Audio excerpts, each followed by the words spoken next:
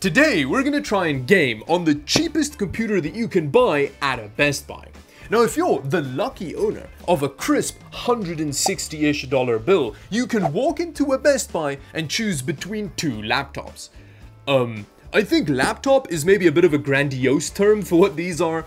Chromebook is, is definitely more accurate. But you can choose between an 11-inch device that has a Celeron N4000 in it, what a beast, or a 15-inch device that comes with a Celeron N3340 in it. Uh, so you can either get a smaller, slightly faster device or a bigger, slightly slower device. And considering that we're going to try and game on it today, I went with the small, slightly faster one. So let's take it out of its box, open it up, and then prod around on its insides a bit, and then we'll see if it can game. But before then, it's time for a word from today's video sponsor, Linode. Today's video is sponsored by Linode, which is a powerful and easy to use Linux based web hosting service that's currently the top rated infrastructure as service provider on G2.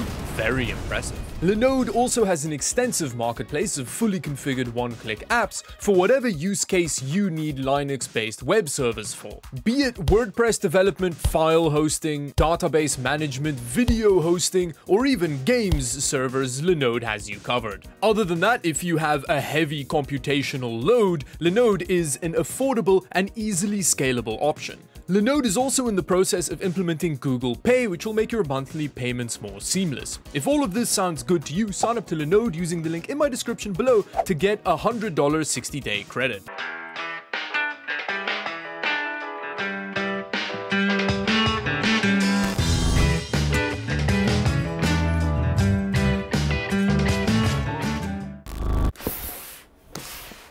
Was always under the impression that 11 inches was huge, but this box kind of says otherwise. Now this specific little Chromebook that we're looking at today is an Acer variant, although you do get them in all kinds of OEM flavors. Ooh, ooh, double boxed, fancy. Nice, we've got some penguin friendly cardboard and um, they, they still wrapped this stuff in plastic. But other than that, there is uh, pretty much nothing else in here aside from the laptop and a starter manual. Now this tiny little Acer Chromebook has a Celeron N4000 in it with a truly unprecedented 4 gigs of RAM. It also has 64 gigs of eMMC storage, which means that it's probably soldered onto the motherboard, but we'll, ha we'll have a closer look at that when we open up the laptop. And as is implied by the name, this does have Chrome OS on it as opposed to Windows. And quite embarrassingly, I've actually not used a Chrome OS device before, so this little notebook is breaking my Chromebook virginity. Oh, that very much does not pass the one-handed open test. Let's just kind of do that. Ooh, it's a different color on the inside. As I mentioned in the intro, the display is 11.6 inch and apparently it's an Acer Comfy View display, which I'm, I'm very excited to have it caress my eyeballs. Oh, the keyboard is definitely nothing special, but it's actually better than I was expecting, and for typing emails and stuff, it should be fine. The trackpad is a pretty terrible material. It doesn't feel great to run your finger over, but it is a nice size, so it should be usable. Plastics are relatively solid. It's not too bendy. The I.O. is very usable. On the one side, we've got a USB 3 port, a USB 3.1 Type-C, and a Kensington lock. And on the other side, we've got another USB-C port. This one's for actually charging the device and then we've got another USB 3 port with a micro SD card slot and a microphone headphone jack. I guess now is a good time to have a look at its undercarriage.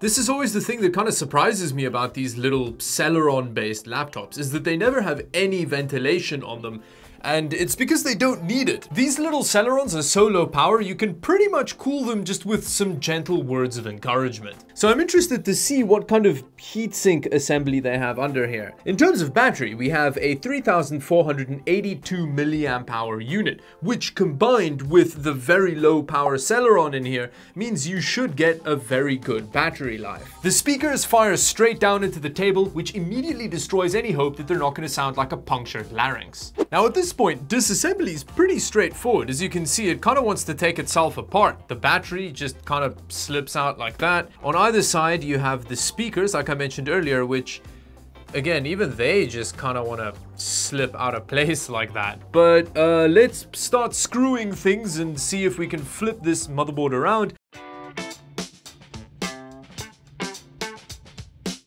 It's crazy how pretty much every one of these ribbon cables has a different mechanism to release them. If this is your first rodeo with ribbon cables, you'll probably break something. Ooh, it's so cute and tiny. It looks like the inside of a tablet. So it's just got this little pad that interfaces between the Celeron and this teeny bit of copper under this kind of jelly-like thermal pad. We have the Celeron so cute with its memory modules up here. And then this module down here seems to be the actual storage. So that's the 64 gigs of eMMC storage. Again, as you can see, none of this stuff is upgradable at all. Ooh, I don't like that. This thermal solution is fascinating because it's essentially just a little sheet of copper. So I'm assuming at this point that this little copper sheet just spans the rest of this and it's just used to interface with this kind of like metal backplate, which could be aluminium. Now the last thing that I want to check out here is uh, what's going on with these two screws. So let's see. So you can see that we've actually detached the trackpad there, which means the only easily replaceable part of this entire laptop is the trackpad for some reason.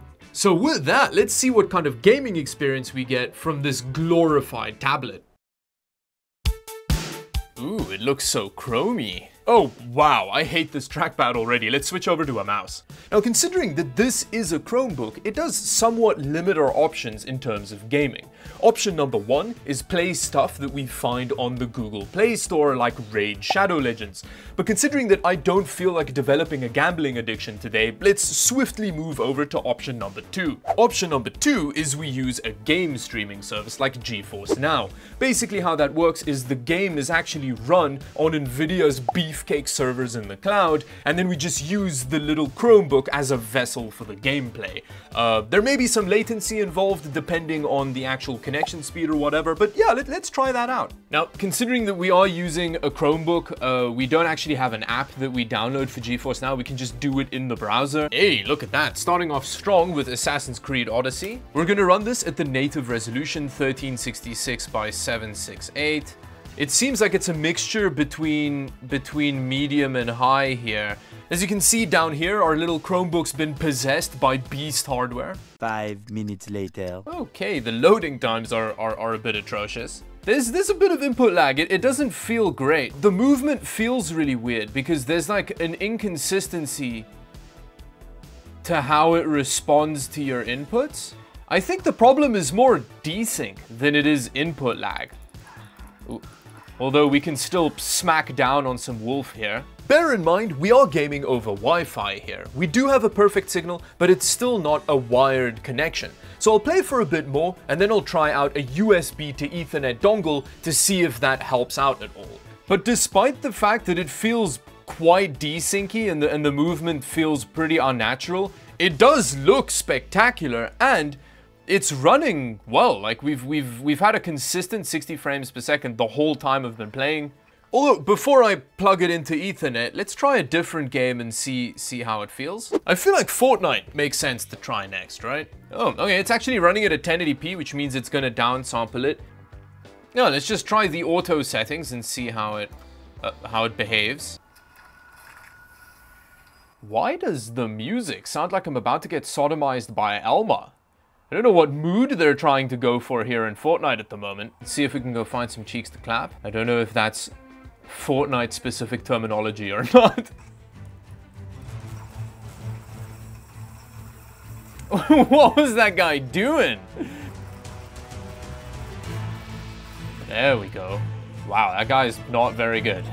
this, I'm, I'm clearly playing at a, at a very low level of matchmaking here. I'm honestly pleasantly surprised by how playable all of this is. This is not the kind of thing you can use if you're playing at like a high level of Fortnite or, or a CSGO or whatever. But if you're like a casual player who's like starting out and trying to just play some Fortnite with your friends, this, this is a usable option. There we go, nothing like some land boating. Come on. Oh, where did you come from? Um, but anyway, look at that. We came fifth and we weren't even using wired internet. So that's that's pretty crazy. Uh, again, this is at a very low level, but wh whatever.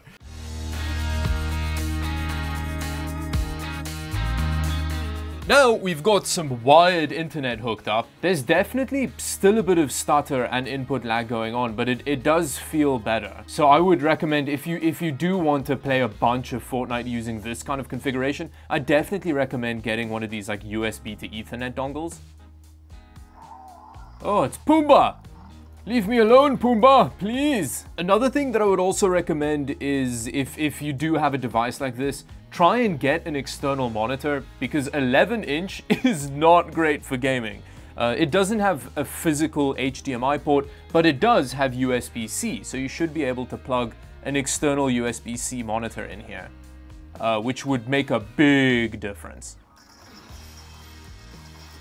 Hey, you made that so easy. You built cover and then ran out from behind it. Why would you do that? What were you doing? But with that awesome proof of concept, let's install some Windows on here so that we can run games physically on the baby potato hardware in this device uh, without it being just Raid Shadow Legends off the Play Store. Now I'm gonna stop you right there, Dawid, because unfortunately you can't install Windows on this Chromebook. You can on some Chromebooks, although they do make you jump through some hoops to do that. In a lot of cases, you have to remove a write protect on the device, which is often physical in the form of like removing a screw or it's software based, but either way, it voids the warranty of the device in most cases. However, with this specific Chromebook, you don't even have the option to void your warranty to install Windows on it. Luckily, I do have another Windows-based device that's very similarly spec'd so that I can give you an indication of what kind of gaming experience you should expect with the physical hardware in the device, which means that Chewy makes a triumphant return to the channel. Whoa. Half-Life 2 at 720p low settings, and this is the performance we get? Okay, maybe maybe I'm not that worried about the fact that we couldn't install Windows on it.